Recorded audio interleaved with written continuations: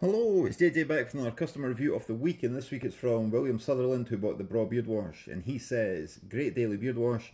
I've used different beard shampoos, and I find this is the best. I've not had any dry skin, and the beard feels good all day." Thank you very much, William. I really appreciate that. Glad to hear you getting on well with the Braw Beard Wash and using it daily as well.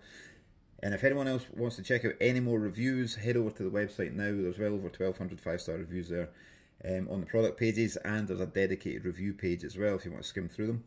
With that said, I'm going to go and I'll see you next week for another customer review of the week. See you later.